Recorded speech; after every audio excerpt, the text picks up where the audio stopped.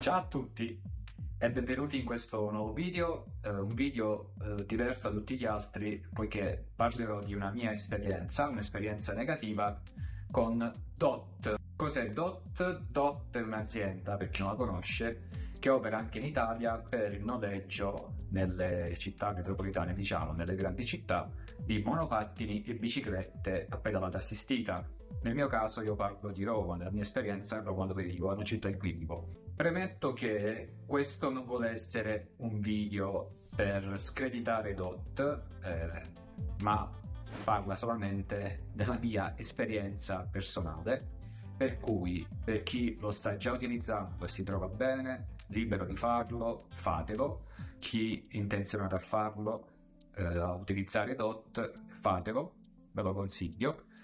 Però volevo parlare di quello che mi è capitato. Allora, premetto che io ho utilizzato delle corse, ho, cioè effettuato delle corse di DOT anche qualche anno fa, sporadicamente all'occorrenza, eh, prevalentemente con biciclette elettriche. Qualche mese fa ho deciso invece di utilizzarlo in modo un po' più continuativo quotidianamente perché oh, grazie all'abbonamento che ho qui a Roma con i mezzi pubblici di ATAC, quindi avendo l'abbonamento alla Metrobus Card che mi permette di utilizzare metro e autobus ATAC, eh, con una convenzione è possibile acquistare un pacchetto di un tot di corse eh, di 30 minuti gratuite al mese, quindi una corsa da un tot di corsa da 30 minuti per 2 centesimi, quindi praticamente gratis. Quindi ho utilizzato questa convenzione per, uh, per fare cosa? Per raggiungere dalla mia abitazione alla prima fermata, fermata metro più vicina che si trova a circa un chilometro e sei da casa mia per poi, poi proseguire con, con, la metro, i mezzi pubblici, il mio, il mio, posto di lavoro e lo stesso ritorno. Quindi ritorno utilizzare i mezzi, arrivare all'ultima stazione metro più vicina a casa mia e poi dalla stazione metro eh, giungere a casa tramite uno dei loro dispositivi, quindi un monopattino o una bicicletta elettrica. Allora, Innanzitutto premetto che nei primi giorni, eh, così così, un po' difficile trovare nella mia zona i dispositivi, spesso è capitato di trovare anche delle biciclette in cui l'assistenza eh, di pedalata non funzionava molto bene, non c'era un modo per segnalarlo direttamente, ma al termine della corsa eh, quando ti chiede di fare la foto eh, dove parcheggi, poi verremo, eh, poi affronteremo anche questo tema che è quello diciamo principale di questo video, c'era anche la possibilità di effettuare un feedback sulla corsa con delle faccine. Ovviamente io in quei casi in cui la bicicletta non funzionava bene ho inserito la faccina triste rossa eh, indicando poi che il mio disagio era dovuto a dei problemi tecnici però nonostante la segnalazione nessun riscontro da parte di DOT. Andiamo al dunque, che succede? Che qualche settimana fa ricevo una mail da DOT eh, in cui mi si contesta un parcheggio di monopattino dicendo che il mio monopattino era stato parcheggiato su marciapiede, mi hanno anche allegato la foto che ho effettuato dopo il parcheggio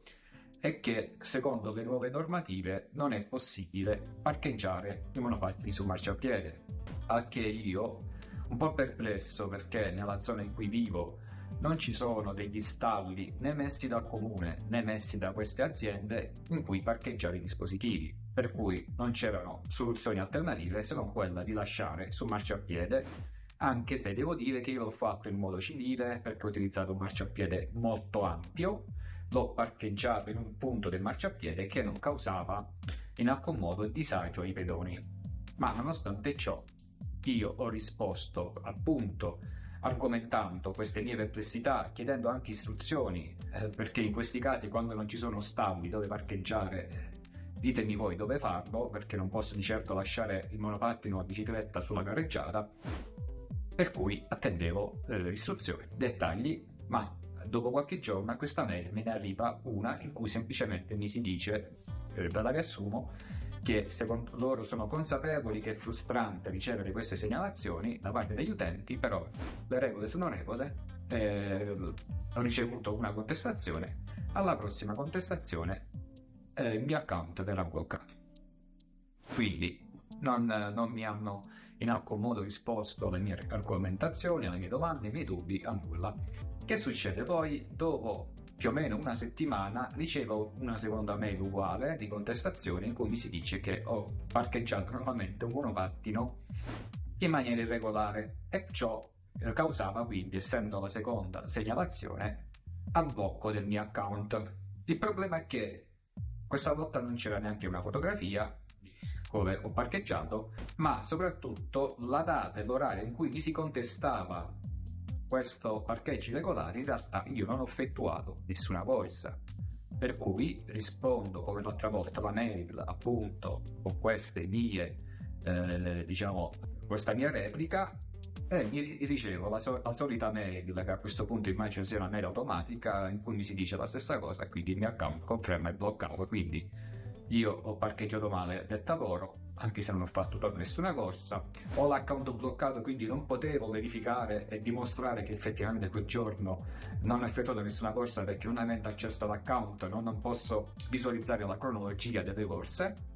per cui sono stato brutto e cattivo senza possibilità di replica, per cui mi hanno bloccato l'account. Cerco di fare un po' di ricerche e scopro che, se non ho capito male, che DOT utilizza l'intelligenza artificiale per analizzare le foto dei parcheggi e fare queste segnalazioni. Poiché è un'intelligenza artificiale che può essere soggetta a errori, è possibile contestare. Il problema è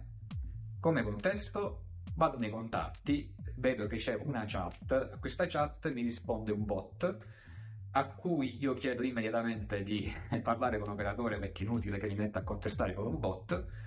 mi passano via chat sempre un operatore al quale gli, ehm,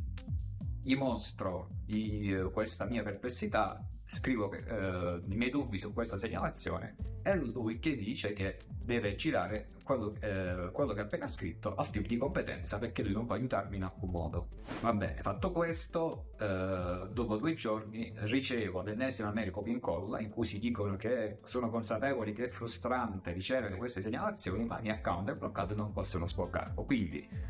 eh, anche se ho sbagliato, posso aver sbagliato, posso dimostrare di, di, non aver sbagliato, no, non posso farlo, non posso portare le mie argomentazioni, non posso, anche se ho sbagliato non posso neanche chiedere istruzioni su come non sbagliare perché vengo bloccato, sanzionato e, e niente, basta, account bloccato. Ma io che sono per la verità e sono anche curioso, perché non, non mi piace questo modo di comunicare in modo automatico, a questo punto cerco di mandare una PEC, trovo, cerco la PEC sul sito del registro delle imprese, mando una PEC uh, uh, a DOT e, in cui scrivo tutta la storia, quello che è successo, le mie argomentazioni e fino ad oggi, dopo più di dieci giorni, forse anche due settimane, non ho ricevuto un riscontro. Quindi questo atteggiamento da parte di DOT io non ho capito per quale motivo sia fatto in questo modo, anche perché c'è da dire che qui a Roma e soprattutto nella zona in cui vivo, tutti i monopattini, le biciclette, quindi tutti i dispositivi DOT, ma anche di altre compagnie come Bird, Uber Lime, sono tutti parcheggiati, quasi tutti, sui marciapiedi e spesso anche in condizioni critiche. Quindi io mi chiedo, sono stati bloccati gli account di tutti gli utenti? Perché se a questo punto va, secondo loro non bisogna parcheggiare su marciapiede e non ti forniscono dettagli se è il comune che deve installare le, eh, le zone per parcheggiare i monopattini, le biciclette piuttosto che il DOT stesso che deve fornirle, non si sa, non è dato saperlo. Per cui a questo punto mi chiedo se sono tutti bloccati account poi io, perché non sono malpensante, e proprio perché non sono malpensante, per me è solo una coincidenza forse che io ho queste corse gratuite, quindi hanno bloccato a me l'account, chi lo sa. Con questo volevo solo raccontarvi questa mia esperienza, ripeto, se voi vi trovate bene, continuate ad usarlo e se vi è capitato qualcosa di simile fatemelo sapere nei commenti e grazie a tutti per l'attenzione e